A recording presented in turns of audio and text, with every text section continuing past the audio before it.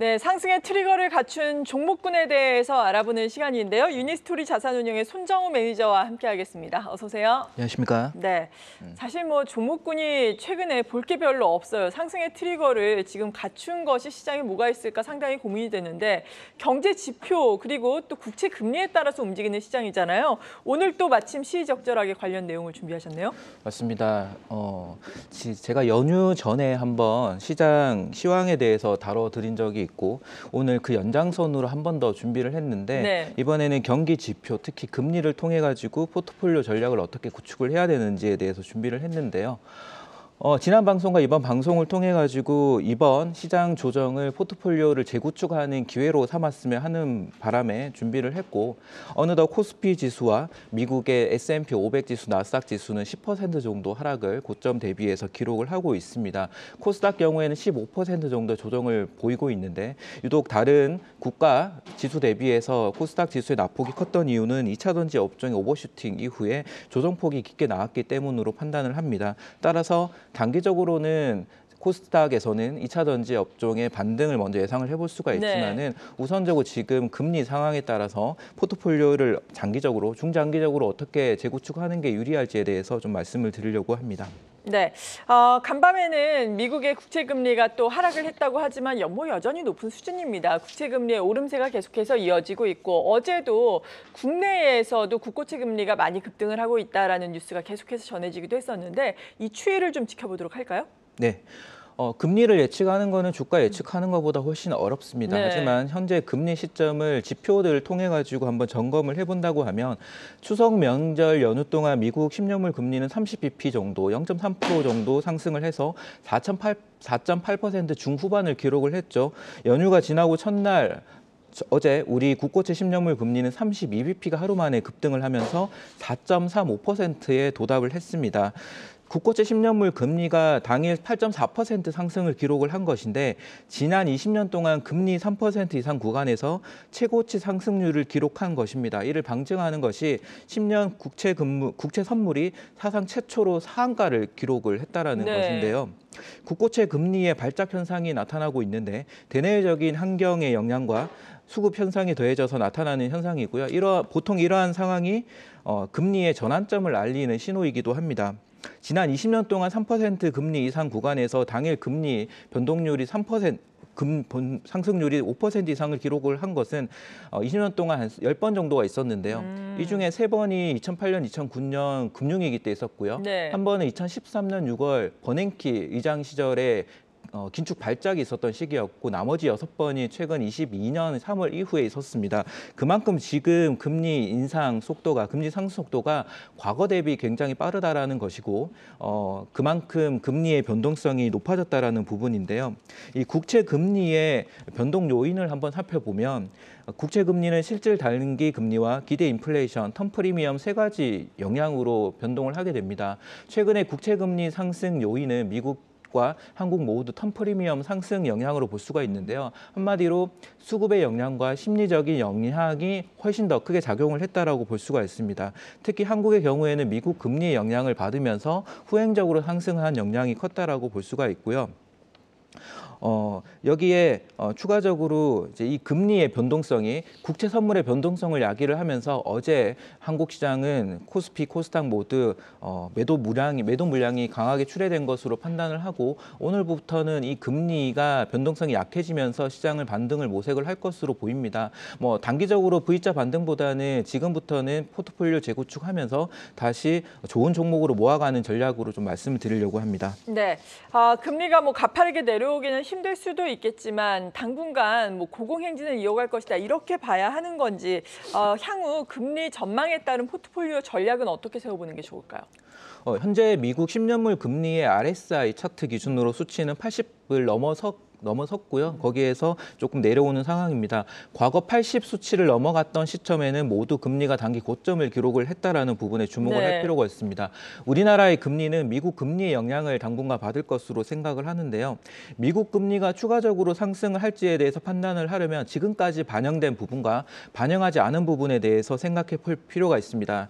앞서 국채 금리 구조에 대해서 말씀을 드렸다시피 실질 단기 금리에서는 추가 금리 1회를 반영을 했을 것이고 기대 인플레이션에서는 유가가 90불 넘어서 100불을 향해 가는 과정에 반영을 했을 것이고 양호한 경기 상황과 고용 상황을 반영을 했습니다. 어, 추가적으로 턴 프리미엄에 대해서는 연준의 점도표 상황 점도표가 상향된 수치를 반영을 했고요.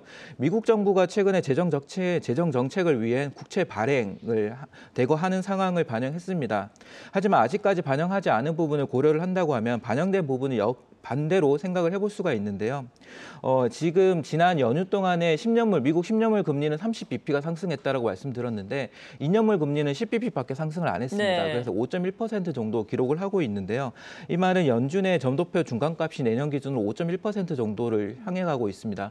어, 이- 2년물 금리가 추가적으로 상승하지 않는다라고 하면 턴 프리미엄의 추가적인 상승이 없다라고 하면 어, 그 말은 이 수급적인 요인과 심리적인 요인이 더욱 과도하게 과매도인 상황으로 올라가지 않는다라고 하면은 금리는 단기적으로 고점을 보일 확률이 높고요.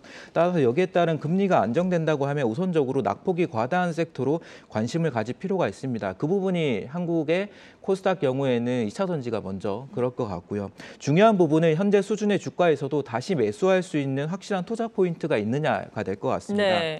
저는 지난 방송에서 말씀드렸던 2024년의 포트폴리오 아이디어로 실적과 공과, 공감이란 주자로 정리를 해드렸습니다. 24년의 경우에는 23년보다 경기가 확 회복되는 구간이라는 점이 핵심이고요. 기업들의 실적이 좀 더 회복되는 구, 구간이라는 점이 핵심입니다. 하지만 비교적인 높은 금리와 높은 인플레이션이 지속될 것이다라는 우려가 있기 때문에 어, 엄청난 유동성이 공급이 되고 외국인 수급이 유입될 것이다 기대를 하기에는 아직 이른 상황입니다. 그렇기 때문에 24년의 주도 섹터를 결정하는 핵심 요소는 실적이 될 것이고 매출 성장이 될 것이라고 생각을 합니다. 네, 그렇군요. 지수가 상승하기 위해서 필요한 또 조건들이 있는데 지금 그 조건들이 좀 충족이 되지는 않고 있는 상황입니다. 아무튼 계속해서 경제 지표라든지 국채 금리의 동향을 눈여겨볼 수밖에 없을 텐데 그래서 보다 펀더멘털에 집중을 하자, 실적에 주목을 하자라는 의견이신데 실적이 괜찮을 수 있는 향후의 두- 주도주가 될 수 있는 것들은 어떤 것들이 있는 겁니까?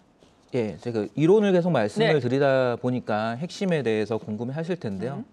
어, 이제 주가에 대해서 한번 지금 다시 고민을 해보면 네. 이건 포트폴리오를 재구축하는 과정에서도 중요한 요인이 될 텐데 주가는 실적과 멀티플의 함수죠.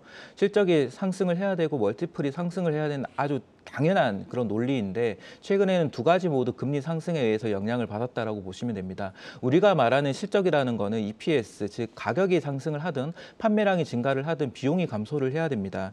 최근에 금리가 상승을 하고 원자재가 상승을 하면서 다시 비용이 증가를 하고 기업들의 마진이 하락하는 실적이 하락하는 구조에 대한 우려를 하기 시작했습니다. 상반기에도 불과 다르진 않았었는데 상반기와 지금의 모습 차이점은 원자재 가격이 상반기에는 안정이 되어 있었고 금리 가 하락하는 안정되는 구간에 있었다라는 부분이죠.